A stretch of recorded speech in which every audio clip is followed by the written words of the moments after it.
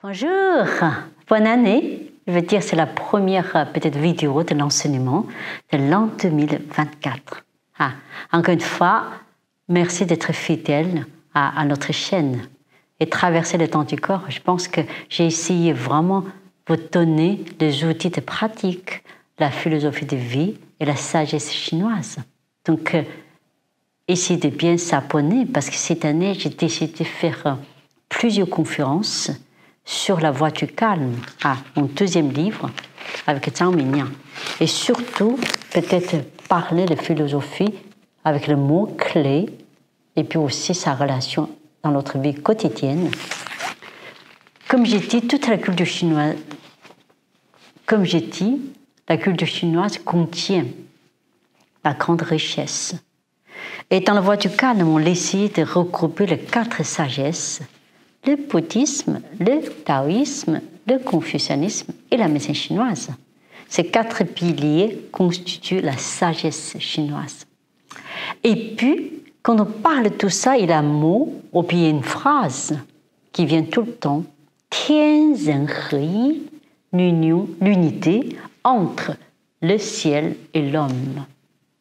C'est une phrase philosophique la plus importante dans la pensée chinoise, mais il faut qu'on pénètre un peu dans son sens profond.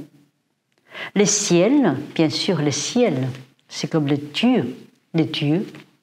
On dit le Bouddha, le souffle primordial, le ciel, ce qui nous amène dans le peut-être divinité sacrée, ce qui nous amène, ce qui nous élève dans la spiritualité.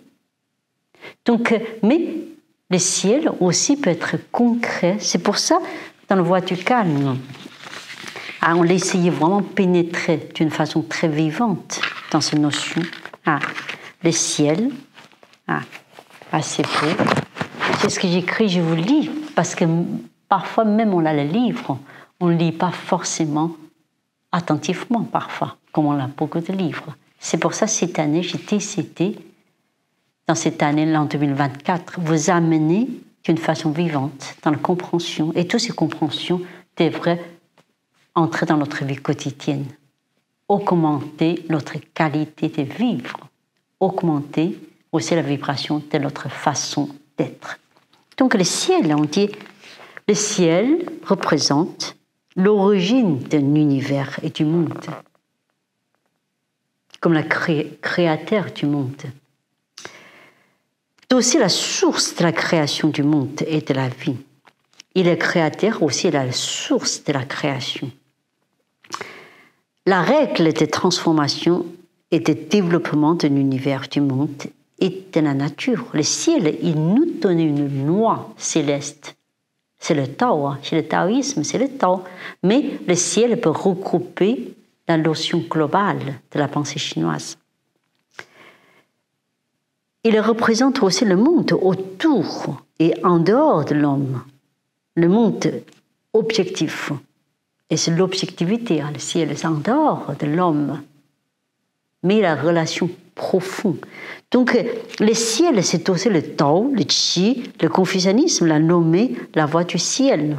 Le taoïsme et la médecine chinoise l'ont nommé la voie du Qi. Donc d'un coup, le ciel, il a rapproché plus c'est dans notre vie autour de nous, mais il va nous changer cette vision, ce que c'est le ciel. Donc l'homme, j'aime bien sûr l'homme. À l'époque, je faisais des dessins très très jolis, comme une feuille d'arbre. Hein. L'homme, c'est un homme spirituel, énergétique, émotionnel, psychologique, psychique et anatomique. C'est l'homme. Donc l'homme, représente le corps, l'esprit, la conscience, la pensée, la l'âme. Ça, c'est l'homme, la partie dans le chêne, dans la conscience, l'âme, l'esprit. Et aussi toutes les fonctions physiologiques et psychologiques de l'être, dans l'homme, dans sa matière plus visible. Le monde subjectif, la subjectivité, on peut dire, c'est l'homme. L'homme représenté par l'être dans son ensemble, anatomique, physiologique, énergétique, psychologique, émotionnel et spirituel. Il est d'un côté dans l'authenticité de sa nature profonde et d'un autre côté dans toutes ses actions et ses réalisations concrètes.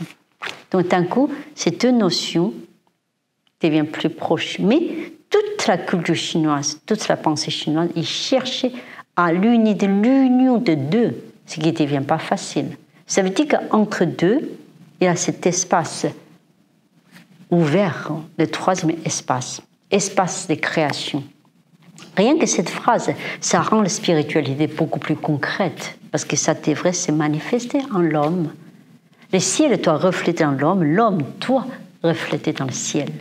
Donc c'est une notion en même temps grand, grand philosophique, en même temps c'est vraiment comment on vit quotidiennement dans l'harmonie, dans cet état d'équilibre profond. Ah. Donc je pense que c'est un état de créativité, l'état d'équilibre, l'état de quiétude, en même temps l'état de l'action juste, l'état de l'attitude juste. En face de la vie, on peut se porter parfois un peu trop peureux, un peu trop expansif.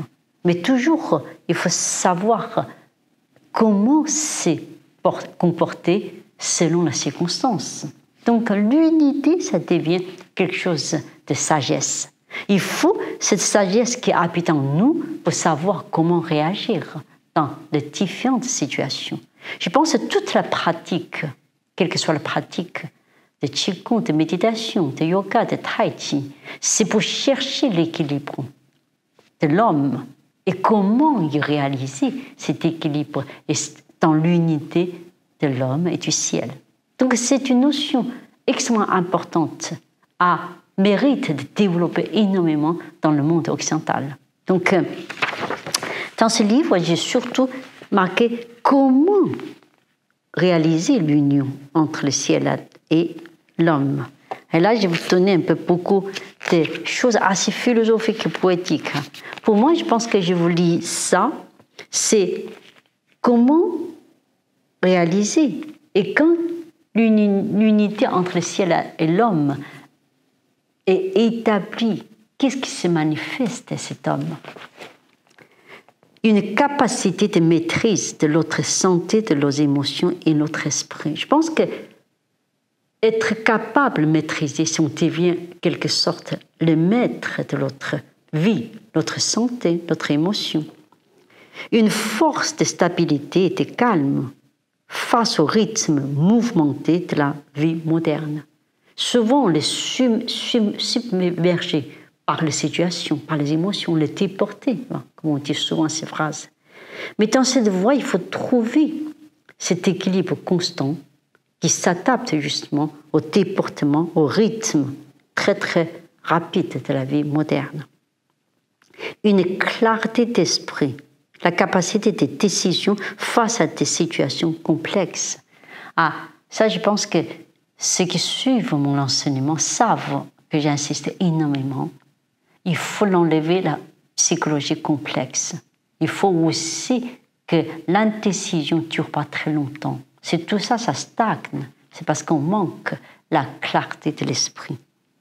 Une attitude de joie et de l'aisance, de fluidité et de souplesse dans l'adaptation à toutes les circonstances un calme profond pour relativiser, prendre des reculs face aux problèmes et aux conflits, une vitalité renforcée, une plus grande capacité de vie et de partage. Je vous relis ce livre parce qu'à l'époque, j'ai pris beaucoup de temps avec Chang de réfléchir déjà ensemble en chinois, et puis moi, je devrais traduire en français juste. Et pour que toutes ces phrases, ce n'est pas intellectuel, mais dans le sens intellectuel bon, bien sûr, mais surtout qui vous résonne dans votre pratique, dans votre recherche. Je pense que c'est l'actualité de reprendre tout ça, parce que je m'en compte, même mes élèves qui suivent bien la formation, à manque aussi le temps de lire attentivement, comme dans ce livre, comme le dernier livre, La lumière du regard j'ai traduit beaucoup d'idéogrammes. Donc je tiens à ramener, vous faire lire ces livres, peut-être quitter la lecture de ces livres pour ceux qui ne se connaissent pas, mais vous pouvez suivre la conférence comme la philosophie. Je pense que La voiture calme est un livre qui peut vous aider vraiment toute votre vie. Donc, à la prochaine fois.